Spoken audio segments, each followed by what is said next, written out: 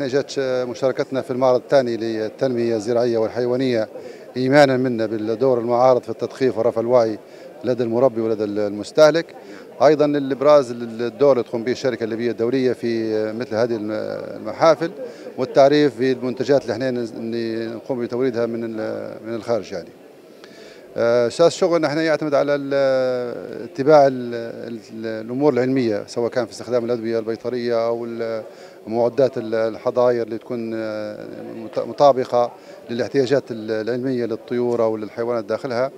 أيضا فيما يخص المضادات العلفيه نحاول تكون مصادرنا تكون مصادر أوروبية وعربيه بس تكون أيضا ضمن المقاييس وضمن المعايير اللي هي أيضا تحفظ ما هو ما هو على الدولة الليبية من الدين الإسلامي يعني. ما فيش تكون مخالفة للشريعة في المواد اللي إحنا نستوردوها يعني سواء كانت بالمكسات أو مضافات أو أو أي شيء ثاني يعني.